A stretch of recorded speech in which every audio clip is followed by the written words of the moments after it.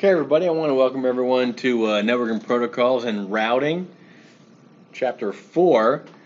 Hopefully, when we're done this chapter, you're going to be able to describe the functions of the core TCP IP protocols, identify the uh, information, um, and how the information is actually processed as it moves up and down the OSI chain. Uh, explain how routers uh, will manage the inter-network communications Remember, the inter-network would be the stuff that's on the inside. Employ various uh, TCP utilities, you know, things for network discovery uh, and troubleshooting and so on. So let's go ahead and get started on this. Uh, remember back in chapter one, we learned about that a protocol itself is a rule that governs how computers on a network will exchange data and instructions. Um, my definition has always been uh, a protocol is a rule that governs how data, how data will travel across a network or modem. Okay, in chapter two, you learned about network infrastructure equipment. You learned what a switch was, what a router was, um, what a modem was. And in three, uh, we learned about the data link, network, and transport, and the application layer protocols, um, how they navigate the infrastructure and use various types of addresses as they determine where to send the, the in transmitted application data and the instructions. Uh, you also learned about the different tasks that are associated with each layer of the OSI reference model, how data as it, as it, as it goes from point A to point B. If we take a look at this at the at the graphic we have, and take it something as simple as an email that might be going on. At layer seven, okay, which is the application layer. Now, it, although say like Microsoft Exchange or Outlook, it's it is an application. It does not reside actually on the application layer of the uh, OSI reference. But here at the application layer, this is where a program like SMTP that I mentioned uh, in chapter 3 uh, port 25. This is where where um, mail, okay, uses the application layer protocol uh, port number SMTP. This is where IMAP comes into play. So Exchange or Outlook are applications that use those protocols. That all happens during the software layers. The software layers are layers 5, 6, and 7, where the data, um, it's still data no matter what. Nothing, nothing has really been added to the data. All we've really done at this point is we've changed how the data looks. So at the application layer, when you hit send, it sent it out using SMTP and then it went to the presentation layer, which changed the format of the message. It encrypted the message.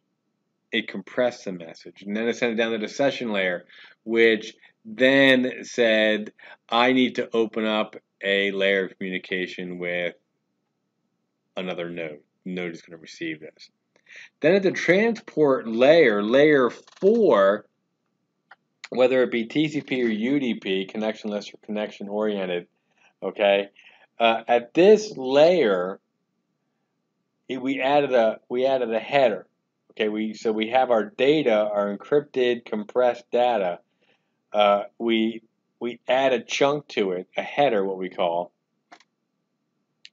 and we're saying this is how much data is being sent. It's going to be this many packets and the data, this is going to be packet one in, uh, of, of packets of 600 packets type of deal. We're going to be uh, opening up a line of communication uh, with synchronizing with the web server in this case. Uh, then we're going to drop it down to the next layer. We're going to say, okay, I need a source which is my address and a destination address, and that's where it's going to go.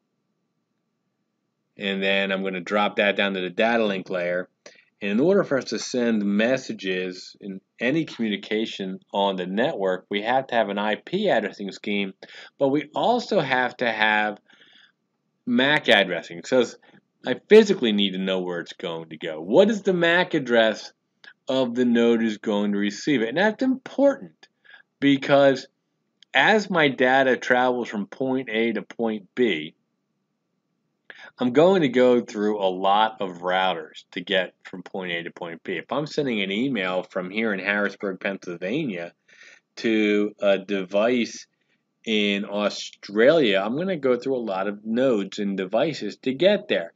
And the IP address that I'm trying to get to is always going to be the IP address of the network that I'm trying to reach in Australia. But what will change is the MAC address of each device that I have to hit on my way to get there.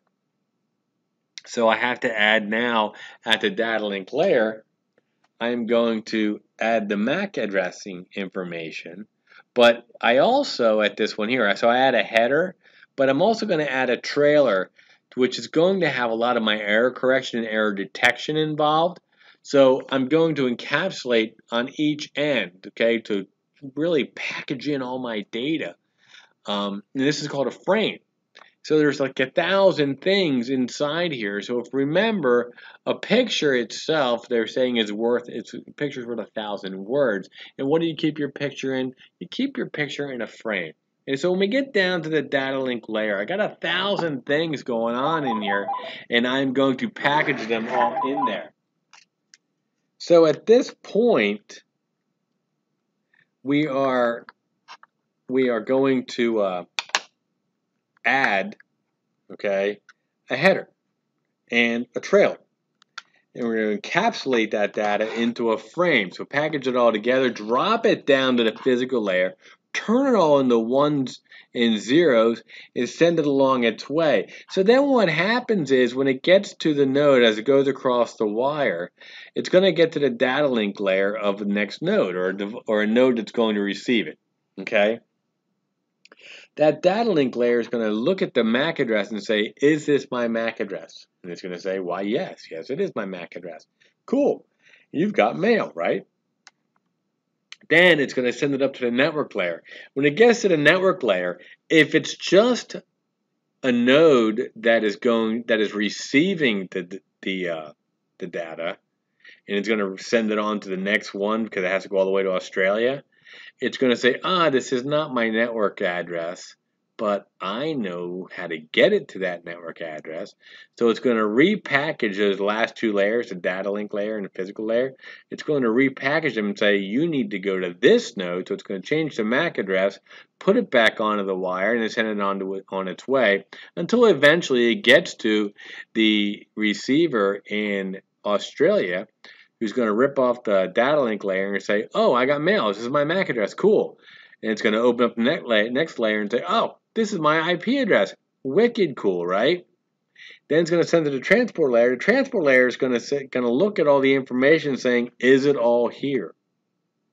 Okay, it's going to look at those numbers, the, these the sequence numbers that I get 667 packets out of 667. If not, I need two packets, whatever, it'll send back for request.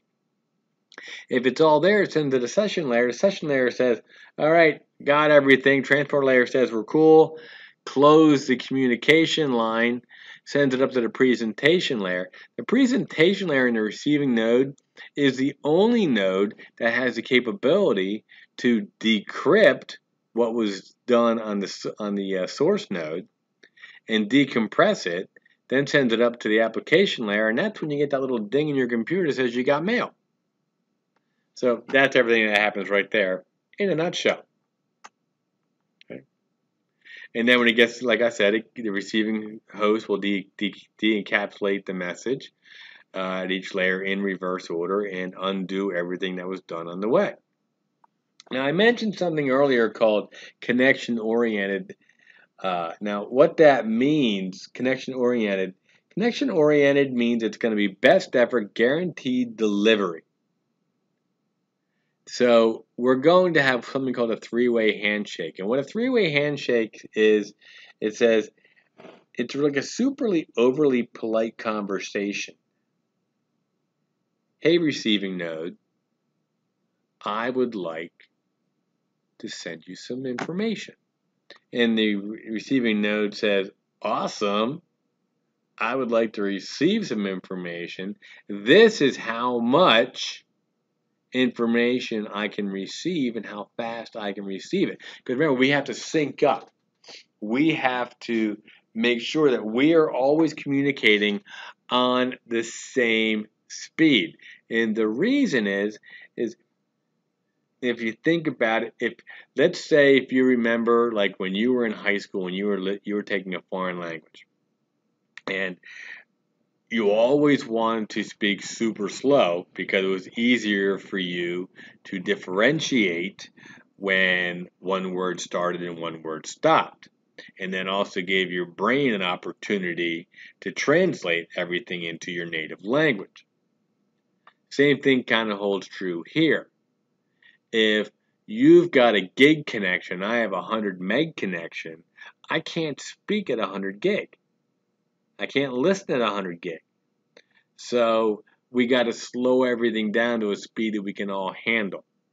Then we also have this thing called a window size, which is going to say uh, I can handle this much data, and then next time, you know, on on packet number two, I can handle this much data, and that's called a sliding window, and it goes back and forth.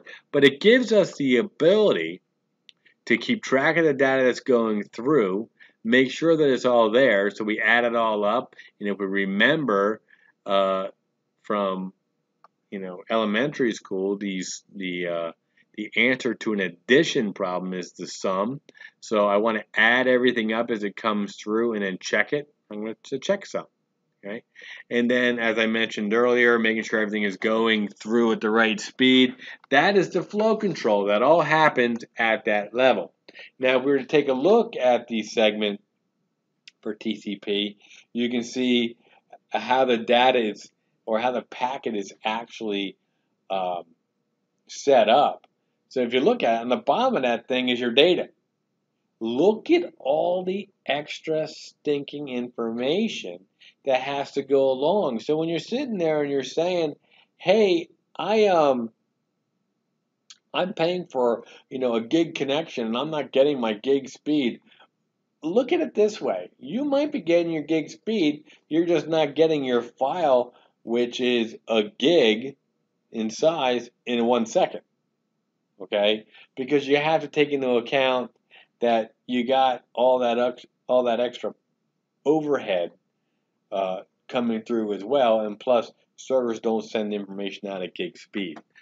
So a lot to consider when you're when you're complaining about your speeds. You also notice in here that there are, you know, on the uh, the fourth line down to your header length, um, you've got an, an, urgency. So it's a these are flags that are saying, okay, this is an urgent packet that we're sending, so you know, give it priority. Uh, this is the acknowledgement number that goes along with the sequencing numbers. Um, am I resetting this? Am I saying that I didn't get all the information or something was wrong with it? Um, so I can do a reset. Uh, is this my synchronizational uh, packet that says, okay, I need to um, I need to uh, once again synchronize up so we can get speeds and everything set up. Or the last one there is this the fin bit. Is this is the finishing bit. Okay, then you'll see the sliding window size. How much data can I handle at this time? All that information that should be taken into account when we are sending our data. So if we take a look now at what the three-way handshake actually looks like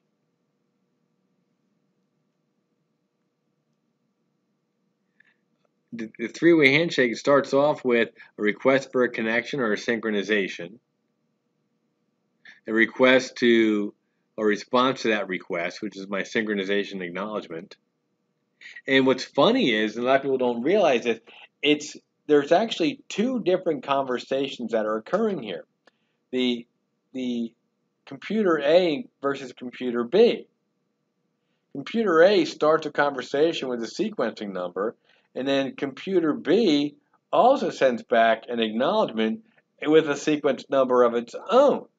So there's two conversations, and those numbers, like the the acknowledgement from computer B, will increment by one from from uh, computer A, but he also sends back a sequencing uh, packet on his own, which will then coincide with the acknowledgement that uh, we get back from on step three. So there's three different messages that are actually going along there. So if we take a look, you'll see this sequence here is coinciding with this acknowledgement, but then computer B also needs to send a synchronization a sequencing bit back, right? So he has this number, which coincides with this guy's acknowledgement. But one, two, three here, okay? And then one, two there. So it's it's it's a pretty interesting uh, conversation that's occurring. But if you're thinking to yourself, when will I ever use this? Well, we have this little program we, we use called Wireshark, and we use it to try to troubleshoot and find out what is going wrong with my network. Why aren't my packets coming or flowing properly? Or aren't they all getting here? And you can actually then take a look at your at your at the packets that are coming through and then see where they're breaking. Okay? That's connection oriented. But all that extra overhead is what guarantees the delivery of your data. And all that extra overhead takes time. Now, for you and I, um, when we're just sending data back and forth or we're just downloading a web page, it doesn't really matter. But when we're doing things like voice over IP or video or a video conference, we can't afford to have all that extra overhead because then we're going to have a buffering stream and we're going to have hiccups in our stream. And that's not going to make for a good quality call. So then we have something called UDP as opposed to TCP. And UDP is our user datagram protocol, but UDP is connection less oriented, which means we don't do a three way handshake. So that'd be kind of like me um, saying to you, okay, I'm going to write a message down on a piece of paper. And I'm going to fold my piece of paper up into a paper airplane and I'm going to throw it to you. And if you catch the piece of paper and get the message, awesome. If you missed it, well, you know, I tried. I gave it my best effort. You didn't catch it. I didn't guarantee it was going to get there. There's no error checking. There's no sequencing. There's no flow control in any of this. Okay, it's why we use it for live audio and video streaming because we can't afford to have that those hiccups during the during the feed. Okay. The packet itself is considerably smaller if we compare that to the TCP the TCP packet. Okay, it's just got four extra items in there, and that's it. No huge amounts of overhead to go through on that whole uh, on the whole thing. All we've got in here is uh, source port, destination port, the length, and of course the uh, the checksum. Okay, that's just so when it gets there, uh, we, you know, it's a very brief piece of, uh, of information to check just to make sure it all got there. IP is a UDP protocol. IDP or IP is a connectionless protocol. Now, IP operates at the network layer, the OSI reference model. Okay? It specifies where the data needs to go. It identifies the source and the destination IP addresses, not the, not the MAC stuff. Okay, that's a data link layer. We need this in order for our, our routers to be able to handle the information that's coming in. Because routers are only used to get our data from one network to another. It needs TCP to ensure that the messages are put all back together when they get when they get to where they belong. That's the whole point of that. IPv6 works very similarly to IP version 4. IPv6 it's just it's just formatted differently in the grand scheme of things. Okay, uh, it the packets are bigger due to the added information it carries. Um, IPv6 uh, uses different packet format than IPv4. The fields in the IPv6 header um, here, okay, as you can see, it's completely different. If you compare the fields and the functions uh, between the IPv4 packets and the IPv6, you'll see that a lot of fields are, are, are missing. Okay. Uh, there are some similarities and there are some differences. So, for example, both packets begin with a 4-bit version field, meaning is it 4 or is it 6? One striking main difference between the two versions is that IPv6 packets accommodate a much longer address. It's 128 bits in length. Also, there's no fragment offset field in IPv6 because IPv6 hosts adjust their packet sizes to fit requirements of the network before they send the IPv6 messages. So there's no there's no offsetting to be done there.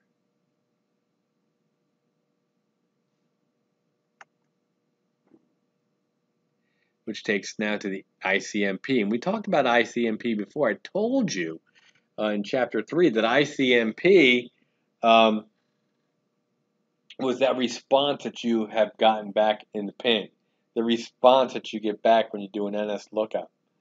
Uh, that's your ICMP uh, packet. It's a network layer core protocol that reports success or failure to deliver. Uh, it doesn't troubleshoot for you. It's just a reporting mechanism. Okay, it might it tells you uh, what part of the network might might have an issue. Okay, uh, it tells you whether or not it got to its destination or not. It doesn't correct the error, it only detects the error. It works the same on IPv4 as it does on IP version 6. The main difference is we don't have ARP on IPv6. ARP is an IPv4 function. ARP, Address Resolution Protocol, um, is what uh, we use for IP version 4. You see, I have if I have to know your MAC address and I have to know your IP address in order to send you any information uh, for for a 30 for a 32-bit packet, then we're going to have uh, we need to have a mechanism in place in order to uh, learn those items, and that's what ARP is used.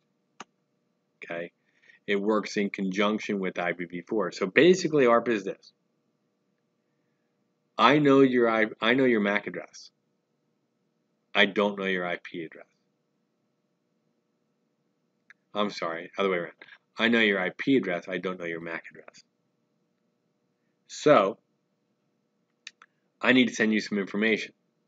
So what I'm going to do is I'm going to scream at everybody on my network. And I'm going to say, hey, everyone, if this is your IP address, can you do me a favor and respond to this message with your IP address so I can send you a message? I got something really important to send you.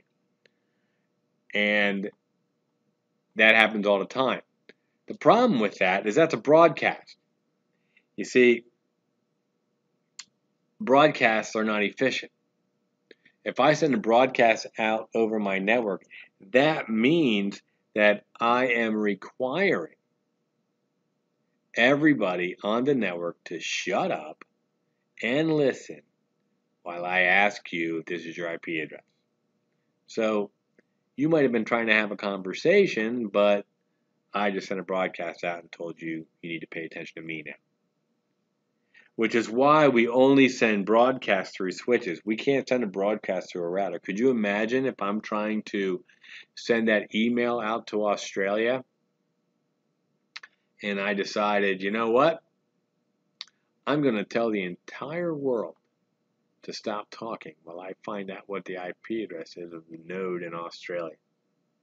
That wouldn't go too well. So we only do ARPs on our own local network.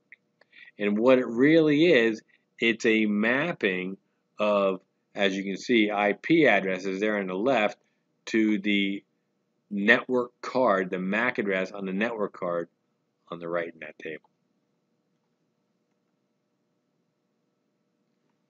An ARP table can contain two types of entries, dynamic and static. Okay, the static address is one that was manually put in. Dynamic is one that was learned. If you open up a command prompt and you type ARP space dash A, okay, and that'll tell you based on your computer's knowledge, those are the mappings of MAC addresses to IP addresses that your computer knows about at this time. And next thing we want to talk about is a little something called Ethernet. Okay, now Ethernet itself, okay, uh, it's a standard. Okay, it's a data link standard. Okay, a lot of people think Ethernet and they automatically think of IP addressing. Okay, but Ethernet is a data link standard developed by DEC, Intel, and Xerox. Okay, before the IEEE uh, be, began to standardize Ethernet itself. So unlike the higher layer protocols, Ethernet adds both a header and a trailer to the payload that it inherits from the layer above it. And now this then creates a frame around the payload. And that details then the Ethernet 2 frame fields. Now, if we take a look at the table, okay, um, in the uh, of the uh, of the uh, the, uh, the the Ethernet frame field um, that was way back on 4-8. Find that for you.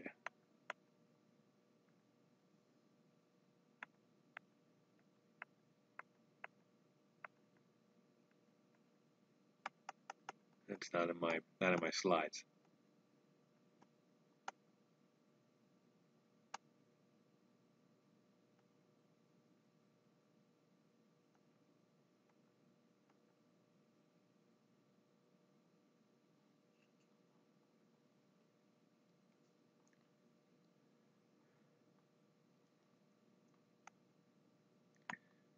So actually, if we look in our books on the Ethernet, Ethernet frame field, we have a table that would show you the preamble, okay, that's your starting frame, then your start frame delimiter, uh, then you got your header field and your trailer fields, okay? Together, the header and the frame check sequence make up an 18 byte frame around the data. Uh, the data portion of the Ethernet frame might contain anywhere from 46 to 1500 bytes of, of information which 1500 becomes what we call the MTU, which is the maximum transmission unit. Uh, it's, uh, it's the largest size in bytes that a router and a message path will allow at the network layer. The default is 1500, but it can be adjusted to whatever it is that you're looking. There are a couple of notable uh, exemptions to Ethernet frame type limitations.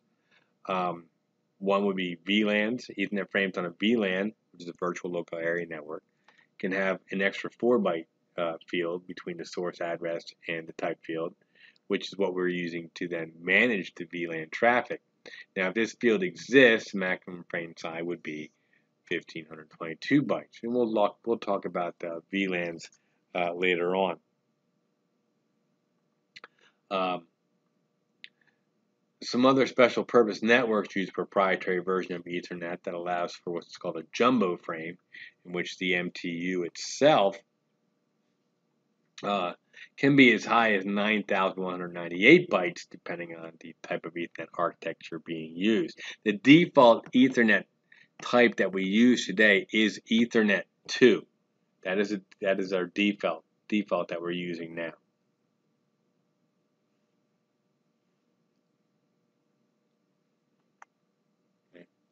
So we want to talk about routers now. And as I mentioned earlier, routers, their whole purpose is to connect networks. Routers join two or more networks and it passes the packets from one network to another. So that's why I always want you to think about your home internet. See, you get on your computer and you just naturally assume it's going to work and you're just used to it to, to, to working, but you actually have two networks in your house by default. I'm not talking about your guest network that you might have by default set up with your Google router, your Linksys router, your Netgear router. What I'm talking about is you've got your 192 network or your 10 network that you have, okay? And then on the other side of how it all works, if we were to take a look at it, you have, uh, if we basically take your router and we split it into two, you got the side where your where your where your cable comes into the back of your router from Comcast or from Verizon, wherever. That half of your router is the public side, but it's in your house. Okay.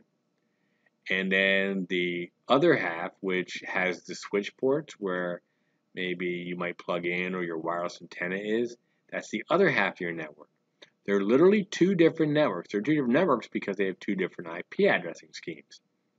So in order for us to pass the IP, the uh, packets from your home IP addressing scheme, whether it be 192 or 10, to the public side of Verizon, maybe be 76 something or 50 something, whatever. Okay, we need to have a, a router in between, and that's what that device is doing in your home. It's passing data from one side to the other side. Now, there's a whole bunch of different kinds of routers out there. You've got your home router, which you have there on the right. Then you've got your your uh, what we would call an integrated service router, which is there in the middle, and then you got your giant ISP router, which is there in the far left. These are the routers that we would we would find in industry, but they all basically do the same thing. They pass data from one IP addressing scheme to another IP addressing scheme. As I also mentioned earlier, routers don't broadcast. So your switch, which is yelling at everybody to stop talking because it wants to talk, your router's plugged into that switch too. But the router tells the switch, screw you, I'm going to keep on doing my job. Because routers don't stop to send information along. The router will listen to the broadcast because if the router, if the switch is asking for the address of the router, it'll respond to it. But it won't pass that broadcast on through. I could have three switches plugged into each other, and if one if one node on switch A broadcasts, switch B and switch C will will also send those broadcasts out. it routers have the ability to prevent traffic. They can filter traffic, saying, "Oh, sorry, we don't allow this type of traffic to go through our network." They give they can give fault tolerance through redundant uh, components such as power supplies. They can monitor and report statistics of your data. They can diagnose internal and other connectivity problems. They can trigger alarms and say, "Hey, we have a problem. Come fix me now." Okay, routers are often categorized according to their locations on the network. So, for example, um, like right here, I've got, you know, all three of these routers here can be doing the exact same function. Core router, core router, core router. These guys are out managing my internal network, my autonomous system, auto being one from Latin. Okay, this guy can be doing the same thing, but since he's also communicating to the ISP, he's on the edge of the network too. So he's also an edge router. Okay. Now these routers out here, out in the cloud, what we call these exterior routers, they run different protocols. These guys here are running BGP. These guys here are probably running like OSPF, okay, which are protocols. Okay, these guys here are very similar to over here. The only difference between this one and this one there's just one more router. Just a little bigger. Just a bigger network. But this guy here is on the edge. He's also a core router. But he's on the edge talking to the ISP. So we're going to call him an edge router. Okay. Now, internally today, we always used to use routers, but we got some smart switches out there too. Switches typically are relying on doing layer 3 work. But We got some switches that are doing a little more. And those switches uh, have the ability to do internal routing. So they can send data from network A to network B inside your building. They can do routing routing functions, but they can't take you out to the World Wide Web. But what's nice is they're typically cheaper than a router and faster. They got more ports.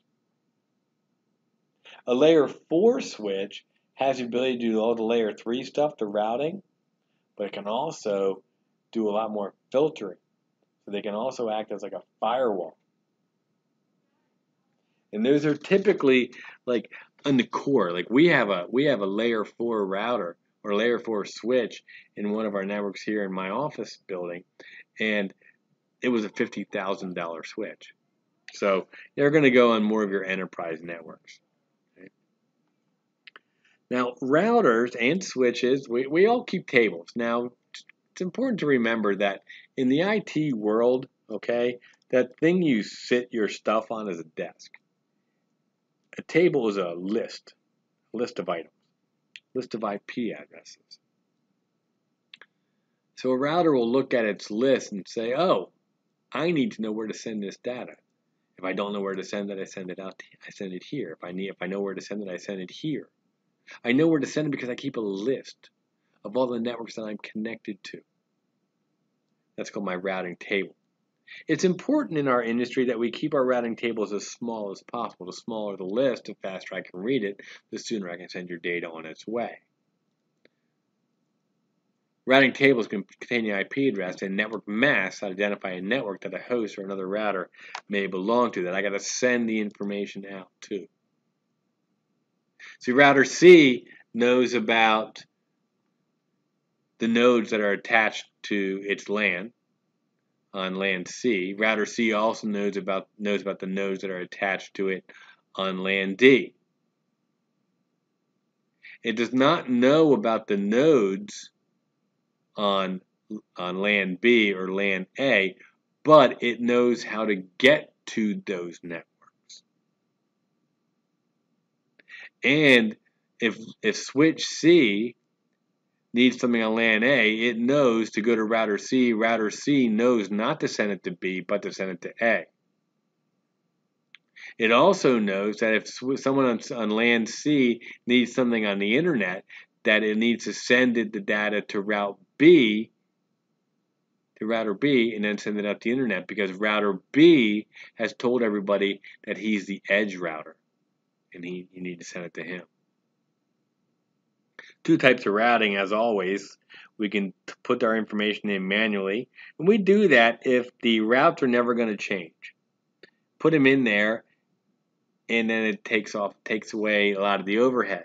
We do dynamic routing if information on our network map on our area of the network that we want to monitor, if that typically changes, we're going to use some dynamic routing.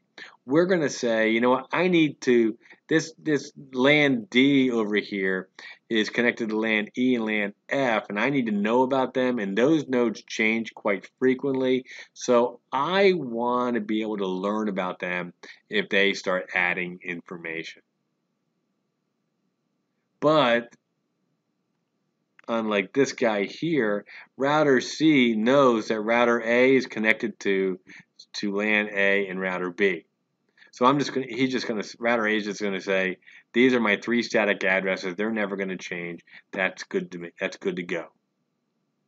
Router C is going to say that this address here is a router B address. This is a router C address. This is a router A address. This is a router C uh, uh, router D address here. So therefore, I'll statically assign these. But if there's more information going on passed over here, I might need to know about it and I might want to make that dynamic.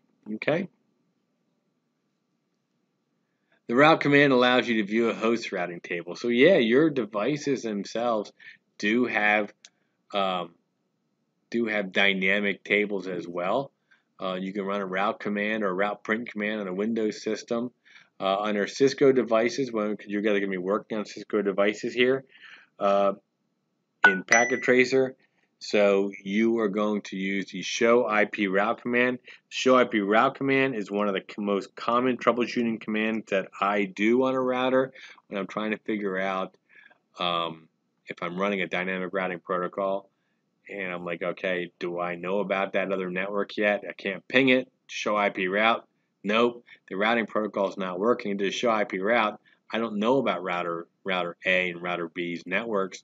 So I'm going to need to, to do that. So what I mean by that, so let's say these guys here are running something called OSPF.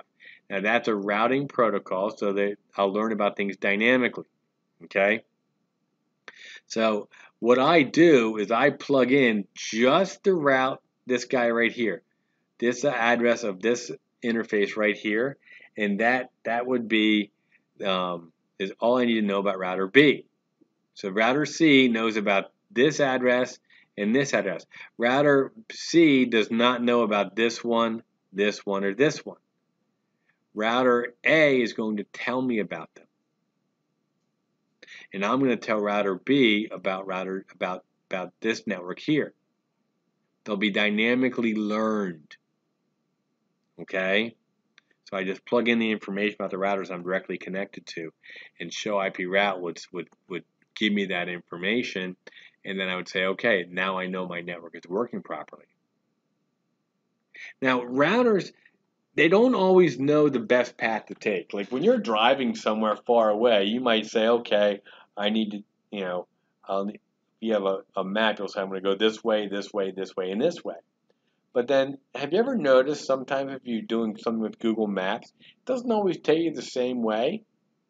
And that's because it uses different metrics. It might use uh, congestion on the highways, speed traps, speed limits, road con- road construction, all of that to make a determination on what, or, or even toll roads, to what's the how am I going to get from point A to point B the most efficient way.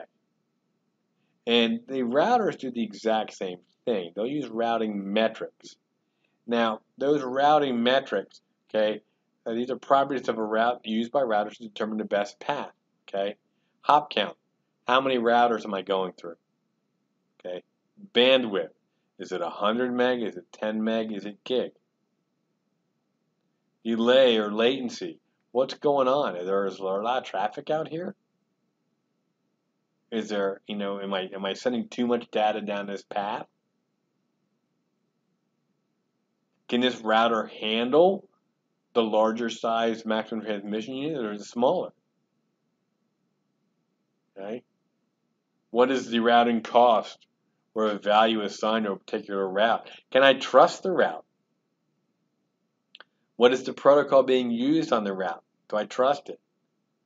What's the topology like of this network? All that comes into play when you're routing, when your router makes a decision on what path it's going to take to get from point A to point B.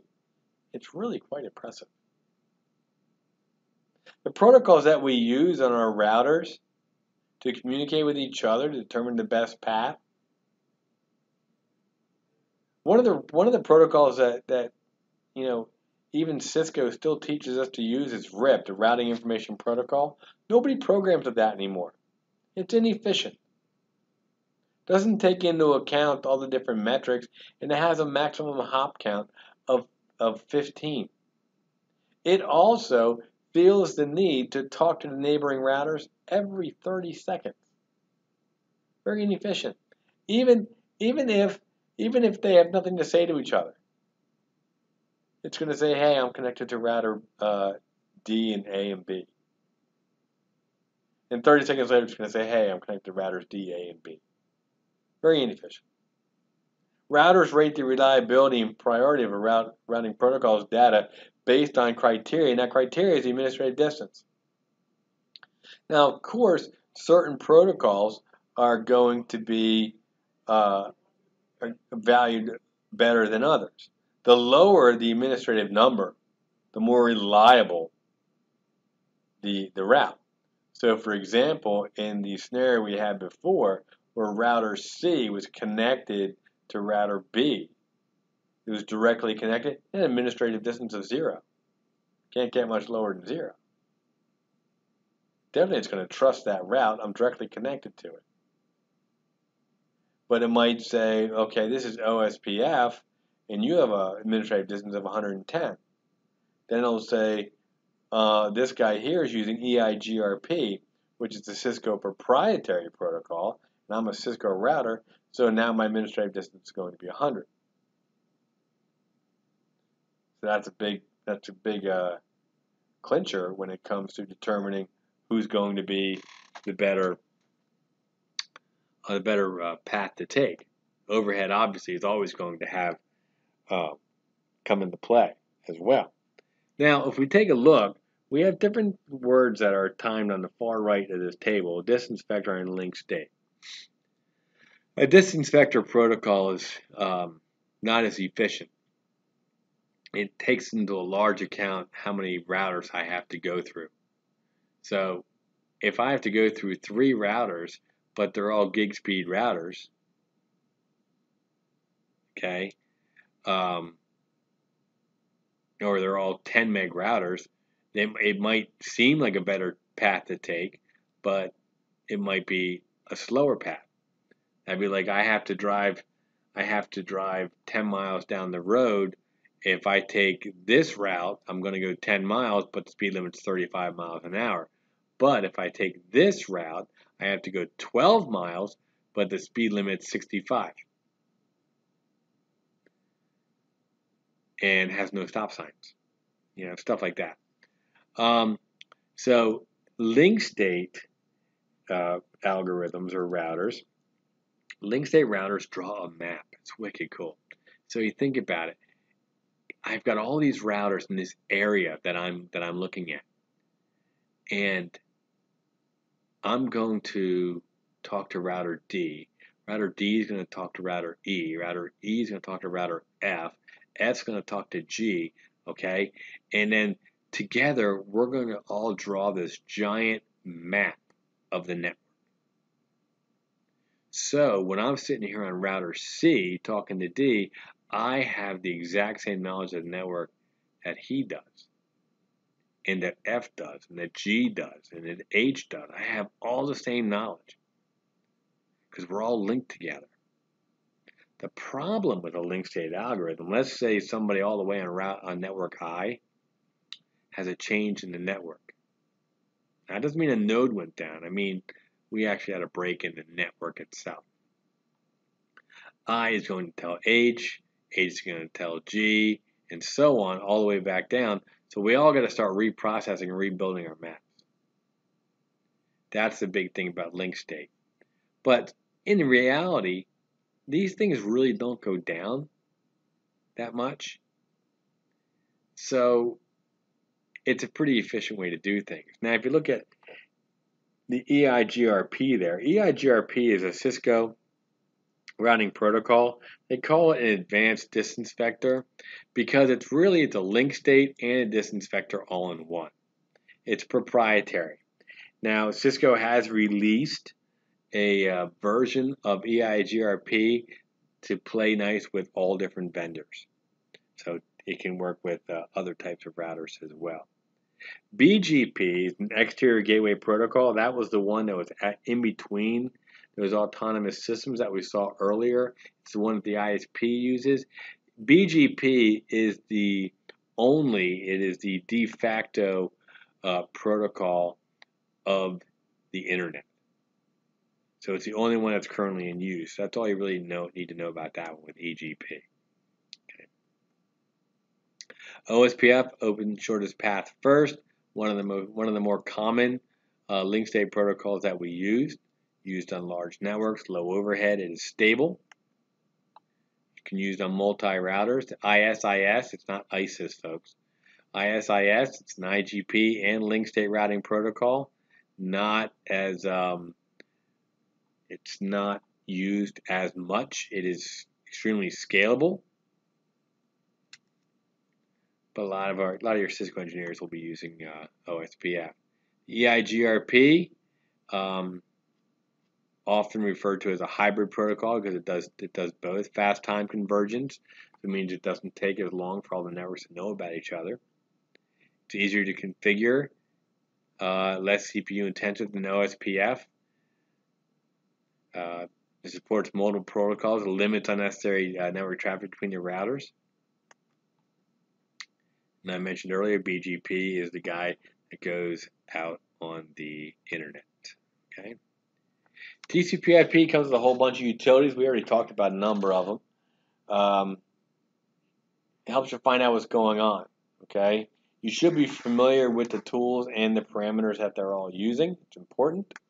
Okay. One of them is NetStat. You use that on your Windows machine. Okay. Gives you the information about all the network statistics that are going on on your computer so you can find out just exactly everyone that your computer knows about. Right? Comes with a whole bunch of uh, arguments that we can put on them. Netstat-N, current connections, including the IP addresses and the ports that are open. Okay, dash F, lists current connections, including IP addresses, ports, and the fully qualified domain name. That's a good one there. Okay. And you can read the rest of those, and they're all in your book as well. Right? Trace RT and trace route. Uh, personally, I'm not a huge fan of, um, of the trace RT. Um, I'd sooner ping, but you can only ping an address that you know about, so trace route will actually tell you the other addresses. It just takes a long time to run trace trace RT. Uh, Linux, however, trace route. I wish Windows was as efficient. You can run a trace route um, on a Linux box and it'll run the command in a literal fraction of the time that trace RT will do it. How are you going to remember the um, the uh, diff, the uh, the commands? Well, the way I do it, trace RT is the Windows command. RT was the first version of the Microsoft Surface that Windows came out with. It was the retail version. And if you think about it, everything that Microsoft does is about money. In Linux, it's free, so trace route.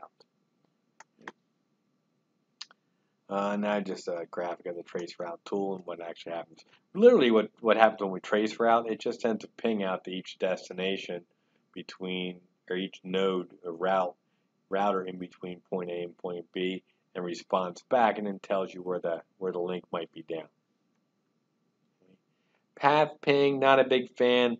It basically it's it's trace route for um, for Windows uh, just by showing you the ping. That's all. TCP dump free command line packet sniffer. It's for Linux in uh, in, in uh, Unix commands. Captures traffic across the network. Okay. Save the output to a file or you can play it back later on. Okay. You got to do a sudo command to do it. So basically, you're switching user to do the um, to do an administrative command. Okay, and then there's some common commands for TCP dump. I don't uh, typically use it, and I'm also not a big guy on using a, a dig as well. There's some other command line utilities for you guys to brush up on and get familiar with. We've already spoken about a lot of them. Uh, another problem you might have is duplicate MAC addressing. As I said earlier um, in Chapter 3, uh, you can spoof a MAC address. Uh, you can clone a MAC address. Um, if someone spoofs your address, that means they're they can have the ability to intercept your data packets. And if they're intercepting your data packets, they're getting them, and you are not. So it is a security risk. Um, other routing problems you might run into, well, things things break, folks. Uh, that's why on Cisco uh, devices, we, we usually purchase something to go along with our Cisco devices called SmartNet, uh, which means even if our router is no longer uh, considered uh, valid, it's reached its end of life, but we still keep our SmartNet contracts up, that means Cisco will either have to replace our router if it breaks or keep one on hand or upgrade us. Ping is probably the most common tool we use, so your ICMP messages will always help you out the most. Okay. And that concludes our Chapter 4 uh, lesson. I uh, hope it was as good for you as it was for me and I will see you guys back here for chapter 5.